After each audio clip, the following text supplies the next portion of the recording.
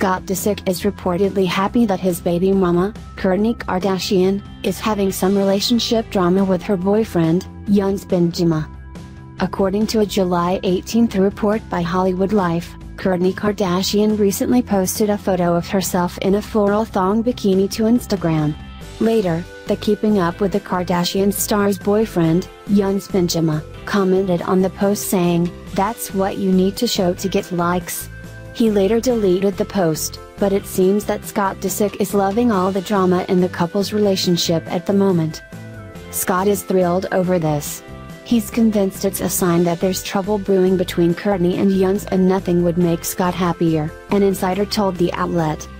Meanwhile, the source goes on to say that Disick is perfectly happy with his current girlfriend, Sofia Richie, but that he really hates seeing the mother of his three children, Mason, 8, Penelope, 6, and Reign, 3, with another man so he is relishing all of the headlines hinting that there may be some trouble in paradise for Kardashian and Bendjima. Scott's perfectly happy with Sofia, but he still can't stand seeing Kourtney with someone else.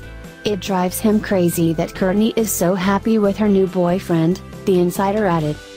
As previously reported by the Inquisitr, Kourtney Kardashian was not happy about Younes Bendjima's post on her Instagram photo. Sources told E! online that the reality TV mom doesn't appreciate her boyfriend making harsh comments via social media for everyone to see, and that she has tried to explain to him in the past that social media is a part of her job and brand.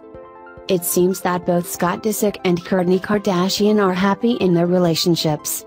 However, Scott may still have a hard time coming to terms with losing the mother of his children to another man, their man.